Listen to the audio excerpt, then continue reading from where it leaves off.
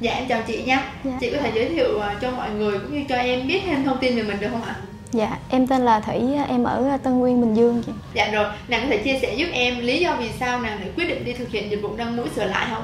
Dạ, tại vì em làm mũi lần trước là được 7 năm rồi Dạ. Mà em thấy dáng mũi của em nó hơi bị tuột sụn với lại nó bị lộ cái đầu mũi á. Dạ. Nên em quyết định ờ, đi làm lại à, Bệnh viện Gan Hu thì em nghe là bác sĩ Phùng Minh Cường là chuyên sửa lại mũi hỏng với lại mũi ngoại tử á. Dạ. Thì em nghĩ với cái dáng mũi của em ờ, lúc trước thì bác sĩ Cường làm chắc chắn là sẽ đẹp Nên em quyết định là lựa chọn bệnh viện làm Tấm trực diện như thế này thì mọi người thể nhìn thấy rõ là cái sóng mũi của chị Ngay cái khớp mũi nó bị tuột, nó bị hạ rồi Nó bị làm một cái gờ ngay đây là mọi người thấy không?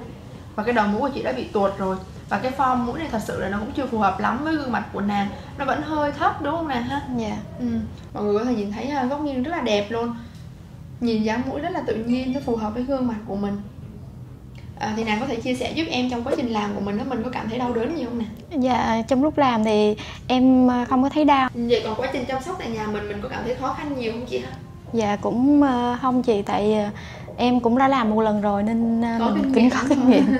Mà em thấy khi làm mũi về mình thấy mình có nhiều cơ hội thấy may mắn hơn. Đây, mọi người thể nhìn kỹ góc nghiêng bên này nha. Rất là đẹp luôn. Gương mặt rất là thần thái luôn á. Và độ lượng cũng rất là phù hợp Không quá cao cũng như là nó tạo được một cái ờ, gọi là sự mềm mại ở gương mặt người phụ nữ mình đó cả nhà em nghĩ là phụ nữ mình thì ai cũng muốn ờ, mình đẹp hoàn hảo hoàn thiện. Thì ờ, nếu như những bạn mà đã đang băn khoăn suy nghĩ là mình có nên đi sửa lại không thì em nghĩ là mấy bạn nên quyết định đi sửa lại và chọn cái bệnh viện ngang hu làm. Tại vì em đã làm ở đây rồi và em cũng có dắt em em xuống làm rồi nên em rất là yên tâm ở cái bệnh viện ờ, thẩm mỹ ngang hu và bác sĩ cường làm. Dạ rồi, một lần nữa cảm ơn nàng rất là nhiều nha.